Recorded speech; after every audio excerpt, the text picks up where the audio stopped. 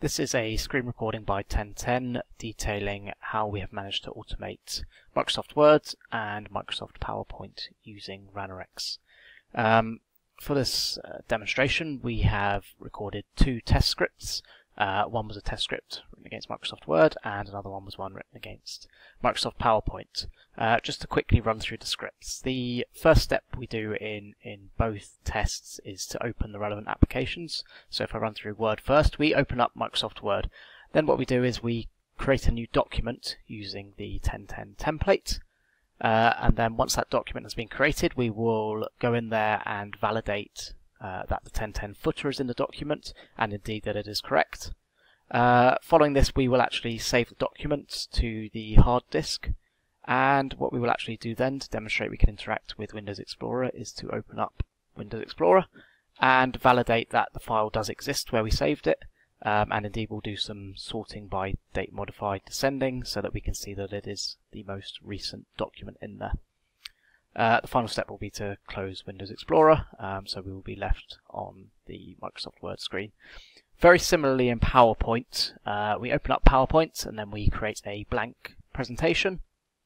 Uh, the next couple of steps are validation steps. So we wanted to look at verifying that, for example, all of the tabs are displayed in PowerPoint. These are the ribbons that you see at the top of Microsoft PowerPoint. Uh, and indeed, the next step there is to validate that the home uh, ribbon is selected. Uh, then we carry on to actually edit the document. So we change the layout settings in PowerPoint to be title only for this particular slide. Uh, we then actually edit the title of the slide. We add an image and similarly to Word we save that document to the hard drive and ultimately validate that it exists. Um, all of these test steps here are actually written as modules so they can be used across tests um, and indeed you can see that for example launch Windows Explorer is present in both the Word test and also the, the PowerPoint test. So we only had to write this module once uh, and we could reuse it in both uh, test cases. Um, similarly, the other um, interactions with Windows Explorer are also modules, and so they were only written run once and then reused. Um, finishing the script off, we then close Windows Explorer to leave us back in the PowerPoint screen. And at the end here, we do an image comparison. Uh, this will actually fail uh, when we come to run the test script. It's a deliberate failure. Um, I have uh, forced it to fail so that we can take a look at what the uh, errors in Ranorex look like and what kind of a test log looks like. So Ranorex itself is actually a very friendly tool for both technical and non-technical users. Um, it gives the capability of writing scripts um, as kind of keyword in a in a kind of keyword driven way.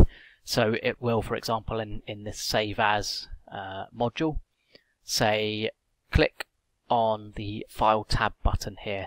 And actually over on the right here you get a screenshot of what it clicked um, when you do the recording. Uh, I'll touch on that in just a minute. Um, similarly down here you can do other clicks, uh, get values, there's various actions that you can do um, down here such as insert text, you can do some validations. Um, if this was running on a, a, mobile device you could do touch and swipe gestures. Um, and then further to this, you can actually execute some user code within Ranorex.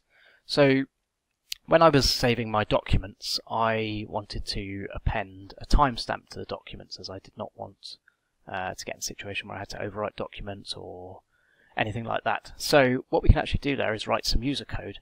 So this is actually getting a bit more technical and Ranorex allows us to write code in both C Sharp and VB.NET. Um, so actually down here you can see that this is a, a method for enter, enter file name. And what it will actually do is generate date and time in a year, year, month, month, etc. format. Um, and it will put that text into the save dialog. Um, similarly, actually, all of these modules can be written as code. Um, so if we view the code, for instance, for this module, uh, there's actually very little in it, um, but what you can do is convert the convert the recording into a code module. Um, and then you have kind of full control and the full power of C Sharp behind you in case you need to do complex uh, interactions with the application or, or some kind of calculation or other that Ranorex doesn't provide in the UI. So in general, Ranorex is very powerful. It can be used to write very simple scripts by non-technical users. Um, as I touched on earlier, there is a point and click record functionality. So that is via this record button.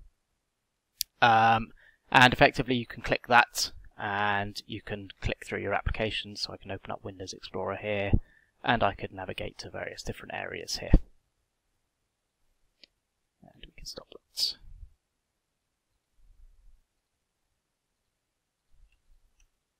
and I was actually amending existing script, so I can delete that.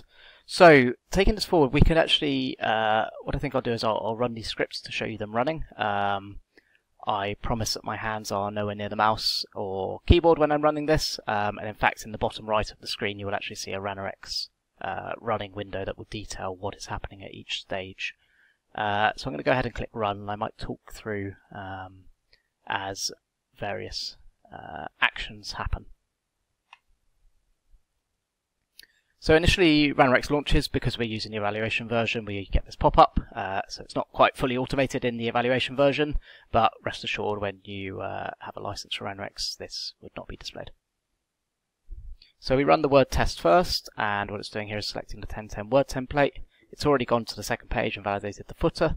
It's now putting a file name in there. The text input is actually quite slow here, um, but that can be sped up. Uh, we are now validating this in Windows Explorer, and we can see that the document was there and it was comparing it.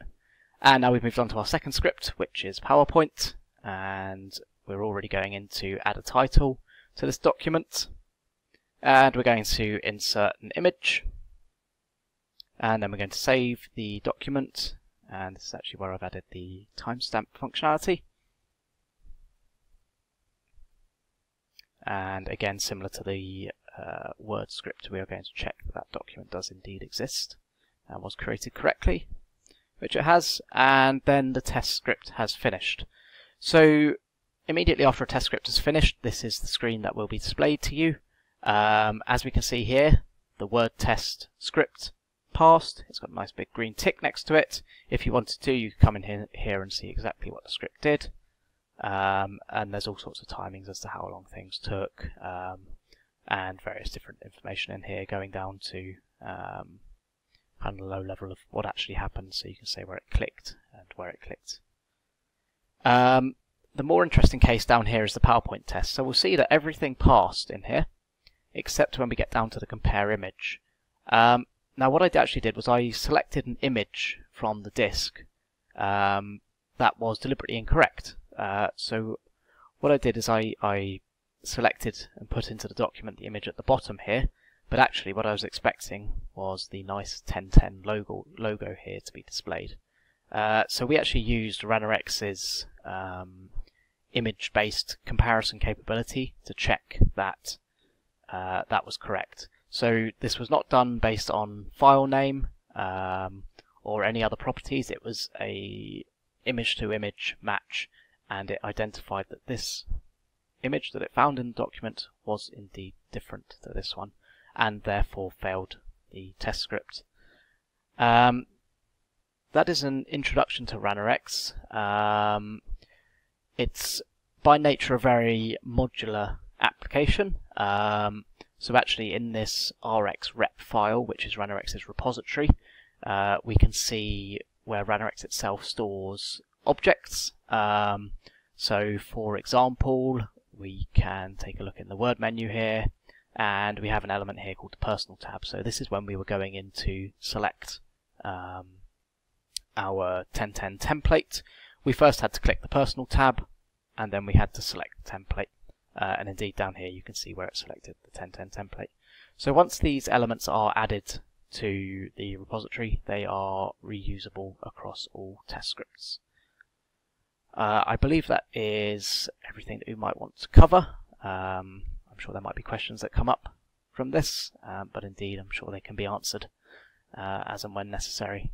Uh, thank you very much.